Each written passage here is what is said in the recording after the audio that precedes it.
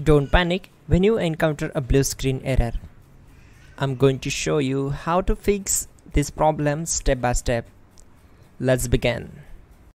Now we need to click on advanced options, then click on troubleshoot. Now click on advanced options and at the last we need to click on command prompt. Now type chk dsk space slash f space slash r space c colon and hit enter. Now we need to wait for some time to complete the process. Type c colon and hit enter to execute the command. Then type cd space c colon slash and hit enter. Now type cd space windows and hit enter to execute the command. Now type cd system32 and hit enter.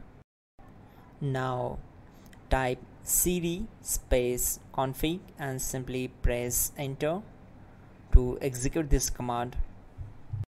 Now execute this command carefully. Type in md space backup and simply hit enter to execute it. Now type copy space star dot star space backup and simply hit enter to execute the command. Now type md space backup 1 and simply hit enter. Once we are here, we need to execute this command. Type copy space star dot star space backup 1 and then press enter from your keyboard to execute this command. Type in cd space regback and hit enter to execute the command. Execute this command type dir then simply hit enter.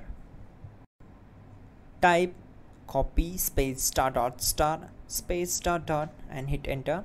Then type all and simply hit enter to execute the command. Let's move to the next command. Now type bootrec space slash fix mbr and simply hit enter. Now type in bootrec space slash fix boot and simply hit enter to execute the command. Now type in cd space c colon slash and simply hit enter to execute the command. Let's execute this command. Type cd space windows slash system32 slash config slash regback. Then simply we need to hit enter to execute this command.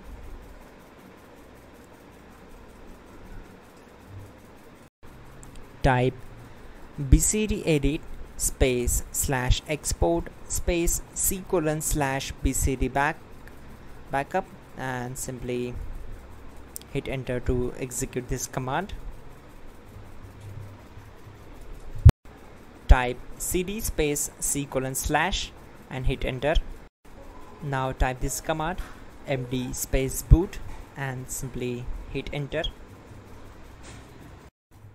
Now execute this command. Type cd space boot and simply hit enter. Now type md space bcd and simply hit enter. Now execute this command.